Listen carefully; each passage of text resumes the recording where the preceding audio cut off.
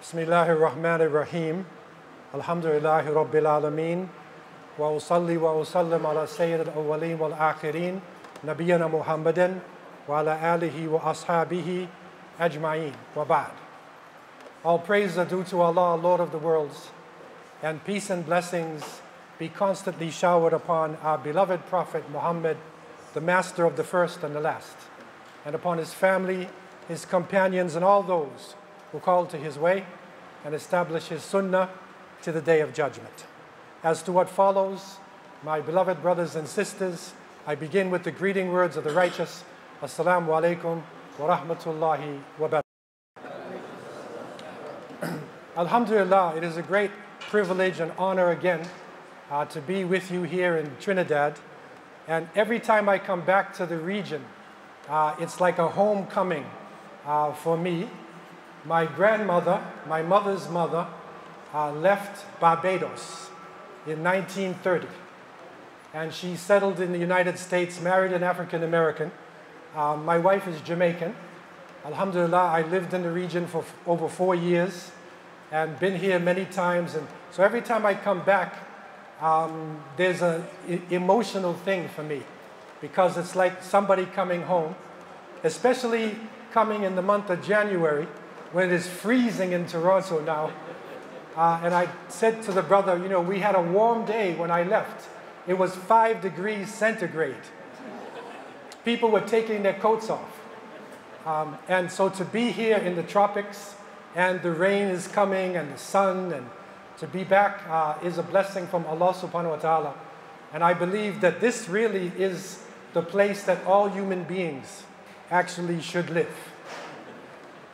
Alhamdulillah, I want our session tonight to be uh, a joyous session, uh, to be a family oriented session. But at the same time, I want to share with you some of the understanding that I got from traveling to over 63 countries, to living in the Muslim world, and as a young, uh, new Muslim, very innocent, open minded, traveling and meeting people, meeting the scholars, and trying to understand what is happening to us. And today it is so important for us to answer that question because we are coming out of the COVID uh, 19 era and people are returning to the masjids, returning to normal life, but the world again has changed. And so we need to be uh, adaptable. We need to have the wisdom to understand what is happening around us, to analyze this in the light of the last revelation and in the light of the sunnah of the Prophet alayhi to be able to set some framework for the continued spread of Islam and hopefully our children can stay on the path. And so I want to first introduce this three part series. This is the first part of three important uh, understandings of the book of Allah subhanahu wa ta'ala. And it came about really with the travel that I did and with I'm just trying to understand the Muslim world. I don't know if everybody can see from over here, but I will tell you um, what is on the slide. Let's look at the background and why we are studying what we are studying. If we look at the Muslim world today, you will find that there is great potential in the Muslim world. We make up over 26% of the Earth's population, and we are rising. And you will be surprised to know that Islam is the majority religion on the African continent. I had the opportunity to live in South Africa for 10 years and to travel to 20 African countries. Islam, also the largest Muslim populations, are not in Arabia, but in India, Indonesia, These are the largest Muslim populations. In Europe, you'll be surprised to know that the majority of people in Paris and Marseille who are 26 years old and under are Muslims. In Belgium, in Holland, 50% of the children born in the hospitals right now are Muslims. So quiet as it's kept, we are rising. There are people still entering Islam. And so Allah blessed us with population. Allah also blessed us with natural resources. Over 50% of the valuable minerals of the world lie under Muslim countries. Our countries lie on strategic positions, strategic waterways, strategic mountain passes. We have young people. The majority of Muslims are young people. If you were to take all of the Muslims and put them on one field, you will find the majority under 20 years old. So we are a growing young population. We also have huge standing armies, hundreds and thousands of men at arms. We have a history, strong history of respect.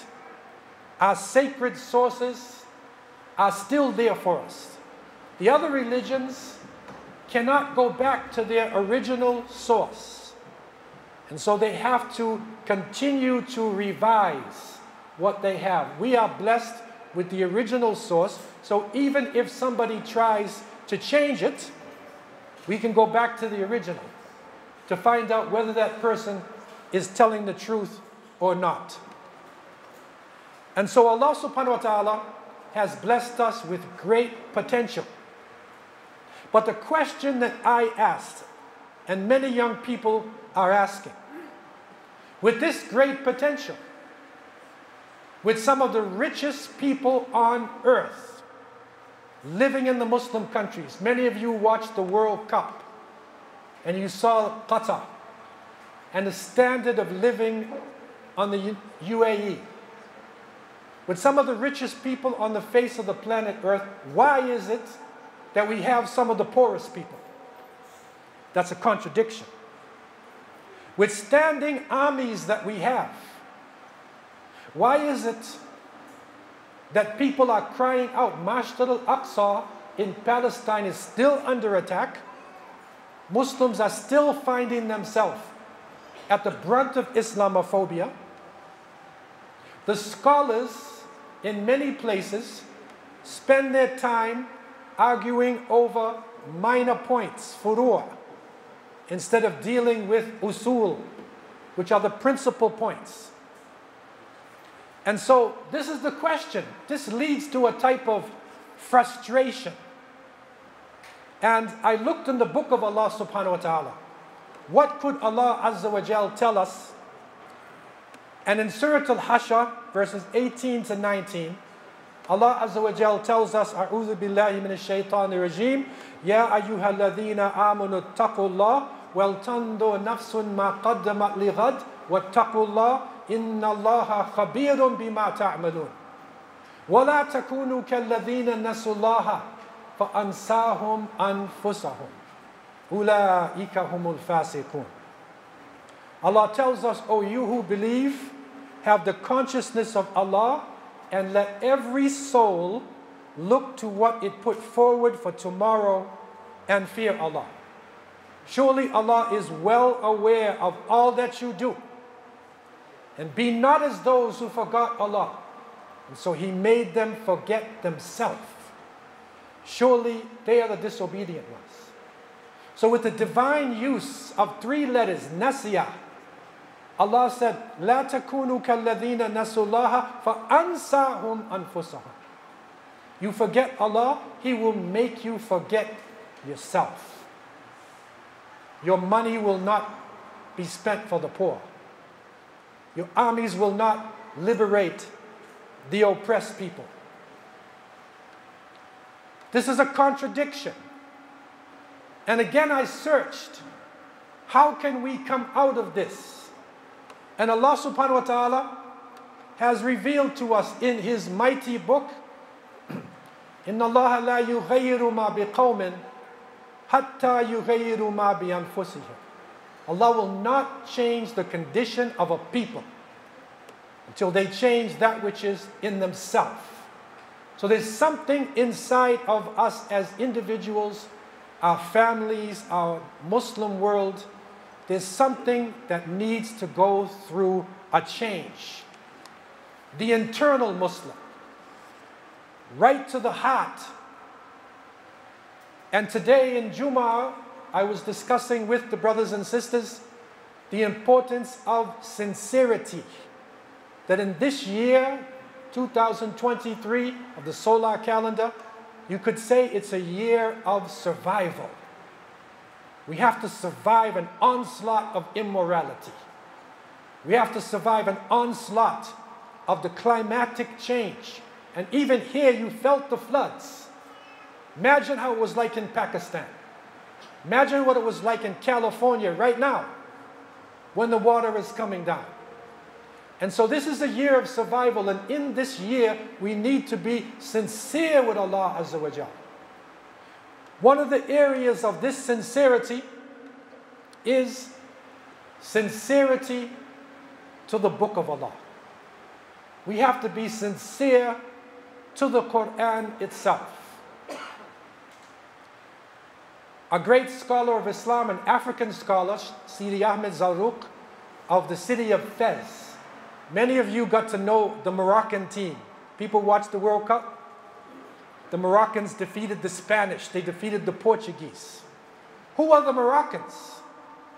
Sidi Ahmed Zarouk, a great scholar in Fez, he said, if you want to be sincere to the book of Allah, you need three things. Tahsin tilawatihi, wa tadabbur ayatihi, wa itba' awamirihi. You must first perfect the recitation, beautify with tajweed.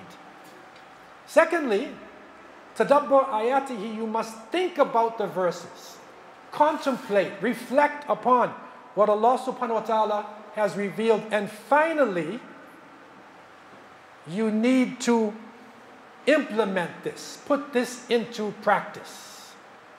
This is the complete sincerity that we need. And Allah Azza wa Jal has given us so many examples in His book. Allah has given us parables, parables of the prophets, parables of the creation. Allah subhanahu wa ta'ala is so merciful. And within the book itself, there is a lot of deep knowledge. So I want to extract some knowledge and reflect upon a very important section of the book of Allah, and that is concerning insects. I want to do something a little bit different now. The young people who are here, if you can, can you see the uh, board there? You can see it? Okay, any young person who can't see it, then move over so you can see because this is a visual presentation as well as just an audio presentation. We want to look at the miracle of the ant. And this takes us to Surah An-Naml, the chapter of the ant. Now you know that Allah subhanahu wa ta'ala has revealed chapters using the name of insects. One of them is Surah An-Naml. And people before used to say, okay, that's interesting, but what about it? Let's look at the miracle of the ant. Allah subhanahu wa ta'ala has revealed in His book in Surah An-Naml, verse 15, I'll do the translation, it's a little bit long of some of it, and read the Arabic of some. So Allah has revealed, indeed, we granted knowledge to Dawood and Sulaiman, and they said in acknowledgement, Alhamdulillah, all praise for Allah. who has made us excel over many of his faithful servants. And Dawood was succeeded by Suleiman, who said, O people, we have been taught the language of birds and been given everything we need. This is indeed a great privilege. Sulaiman alayhi salam was given something no other prophet was ever given before. That is the ability to communicate with insects, to communicate with the jinn. No other human being has ever been given something like this before. And in the 18th verse, Allah told us, and when they came across a valley of ants, حتى إذا أتوا على واد النمل قالت نملة يا أيها النمل ادخلوا مساكنكم لا يحتمنكم سليمان وجنوده وهم لا يشعرون. So this is the key point here.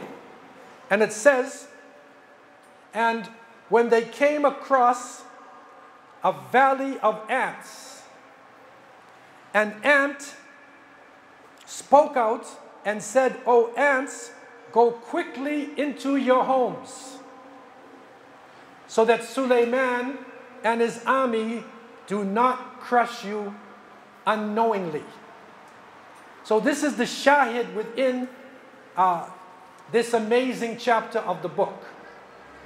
And when you look at it right from the beginning, those who are speaking Arabic, they see right away when it's speaking about the ant, it is saying, call it namlatun, female. Science has now shown us that the majority of the ants, the ants who are moving around all over the place that you are basically seeing are all females. They're not males. This is a miracle of the Quran. How could Prophet Muhammad know that the majority of the ants are actually female? Why would the Quran? Because this is the book of Allah Azza wa Jal. And so, the ant, she was selfless. Imagine now the huge army is coming. Instead of just running away, she calls out to the other ants and said, Go into your homes, go underground, go somewhere so you will not get crushed. In other words, that ant was selfless. That ant was thinking about the other ants more than she thought about herself. And this is one of the important qualities that we need to understand about the ants. And this really came to me when I was living in Cape Town. And in Africa, in southern Africa, the ants are really aggressive. For some reason in Trinidad, I'm not seeing ants like I used to see. I don't know if they're using extermination or what it is. But I'm not seeing ants like I used to see. But in Africa, in Cape Town, in a middle class area, if you put down a piece of bread, in 15 minutes, there's a line of ants moving for the bread. One scout goes out and finds something, communicates it to the other, and suddenly they are moving in line. And one day I was doing dhikr, and I was sitting and I watched a line of ants going this way and a line going the other way. And when the ants were passing each other, they would not just go past, they would recognize each other. They communicate with each other. They don't communicate with their mouth, they have antennas. So they're in constant communication with each other. They are amazing creatures. As a matter of fact, we could say the ant is the most successful creature that has ever lived. This is a deep statement to make. It is the most successful creature. So there must be something about the ant that makes it successful, something why Allah Azza would put the namal inside of the Quran so that we could reflect, so that we could think about this and take lessons from the ants. There are over 12,000 species of ants. And they make up what is called scientifically one sixth to one fourth of the entire animal biomass. In other words, if you took all animals, living things, and you just put them all in a mass, one sixth to one fourth would be ants. That's how many ants there are in this world. For every human being, every one of us, there are 20 million ants. I don't know about Trinidad, I don't know where they went. Maybe they're underground. But there's 20 million ants for every human being. Think about this. The ants are so successful that they live in every single continent of the world except for one place. Anybody know without looking at the board where it is? Excellent, mashallah. Antarctica. I don't know why it's Antarctica. But Antarctica, there's no ants. Every single place in the world, China, Europe, Africa, India, the Americas, everywhere in the world, there are ants. And the ants, you know what's so interesting about them? And that is that a colony of ants can be about 10 million ants in a colony, but they will mix with other colonies and they can form what is called a super colony, which is billions of ants. Now, what is the miraculous thing about ants is that even though they are so much in number, they are one mind. All of the ants think together. So when one is thinking and communicating, there's a connection with the other ants within the colony itself. And so they function as one body. They communicate using their antennas.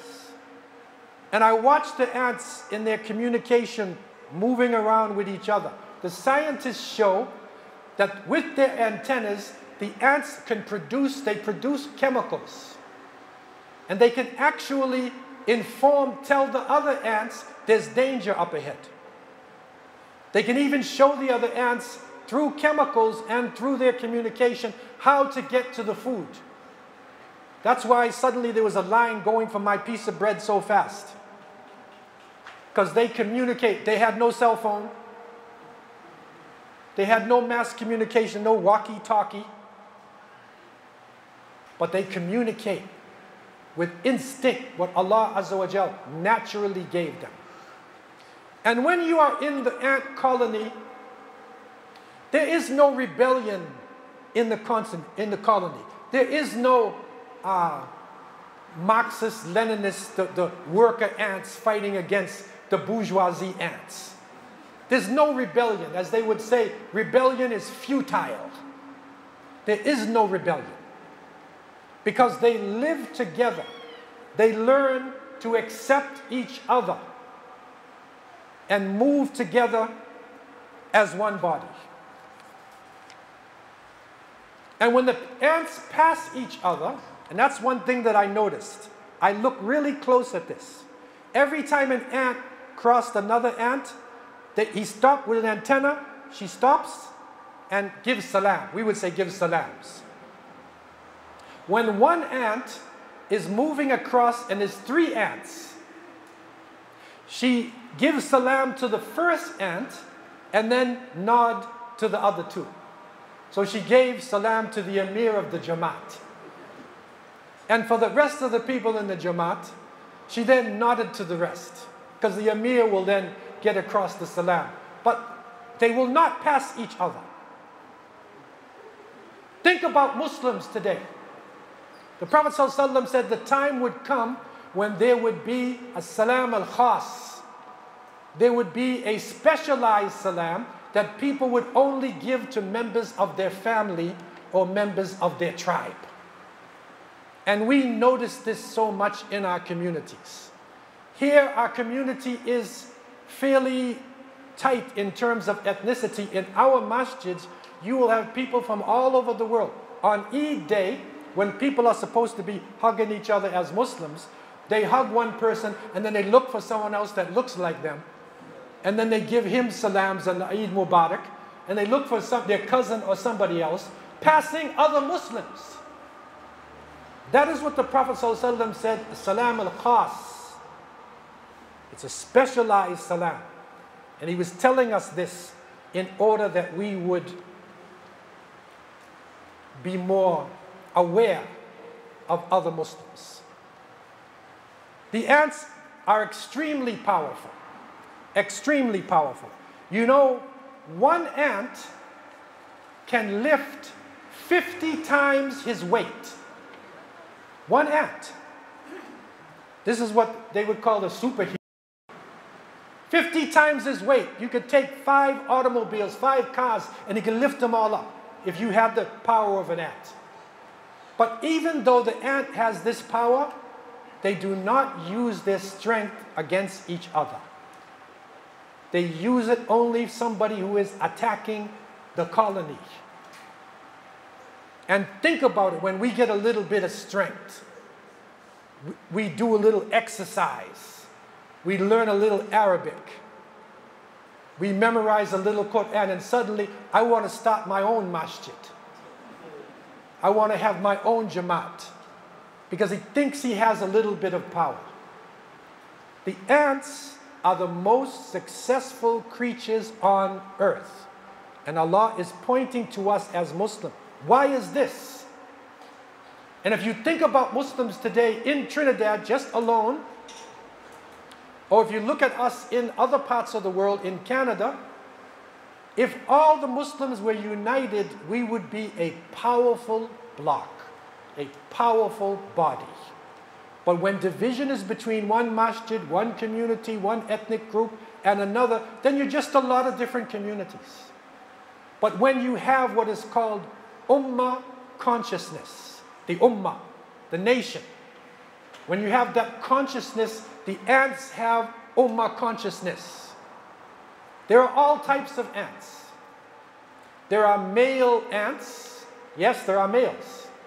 And the drones, they just sit around and eat food and um, get the queen pregnant. There's the queen, who is the ultimate female. And the queen is special. The queen is special. And she is naturally the queen. She doesn't have to go to charm school to learn how to be a queen, to walk in a certain way, to talk in a certain way. It comes natural. And all of the ants respect. In some colonies, they even found there are certain ants that have big claws. And they actually, uh, they're like uh, uh, machinery. They lift heavy things. There are other ants whose bodies are really strong, and they are the ones who go to the front line if there is an attack. So there's all types of ants doing all types of activities, but yet and still, they work together. And you know what is one of the beautiful things about ants themselves?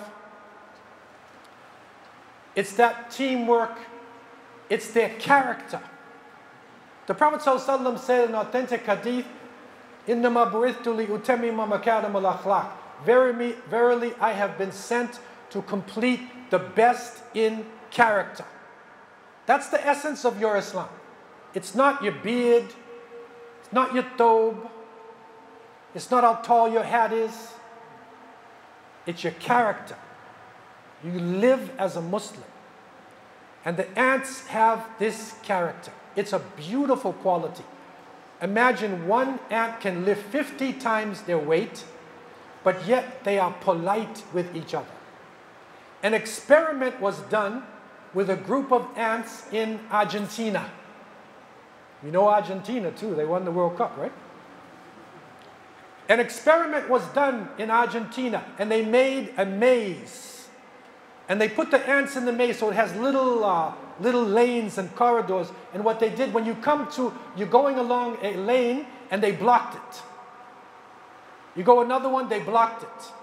And they found out that the more difficult it became, is the more patient the ants became. Think about human beings. Think about uh, us if you're in line and you know, people get unruly and start fighting each other. We even experience this when we're on Hajj. It can happen with human beings, but the ants, the more difficult it came when they did this experiment, is the more polite they were with each other. Because they realize that their success is the success of the Jamaat. It's not just their own success, and being patient is an amazing thing. And you see amazing feats the ants can do. I want you to take some time, especially our younger brothers and sisters, but everybody, look up ants. They're amazing creatures that Allah subhanahu wa ta'ala has made. This picture here, if you can see that mass right there, that is going through a stream. This is all ants. They stuck together to each other and they hung onto some wood and they floated together as a jamaat when the water was moving too fast. And because of that unity, they were able to cross the river in a way that they would not have been able to do if they were not united. The ants think positively. But sometimes even the ants get angry. And in one case, they evolve according to the situation. There was even an ant in, in America, in Texas, they said the ant of all ants, and that these ants were attacking electronic devices. They were attacking the computers. And the Americans had to do, make all kinds of poisons. And when they make the poison, the ant evolves and, and he defeats the poisons. They said it was the ant of all ants. It was an unbelievable experience that they were having and, and to show what the ants can do. So, what is the lessons, some of the lessons for uh, the Muslims today? Number one, the ants are in submission to Allah subhanahu wa ta'ala. They don't have to be trained, they, they, go, they function naturally. Excellent character politeness, hard work, acceptance of each other. Think about these qualities. We need to like workshop these. We need to in, you know, show this to our younger generation. Selflessness. It is said that in the Battle of Mu'tah, when the Muslims were facing the Romans, and one of the Sahaba, radiallahu anhum ajma'in, he was wounded and he was calling out. He was calling out for water. And, and, and they came to him. And, and then he, he heard his brother. And so he said, Don't give it to me, give the water to my brother.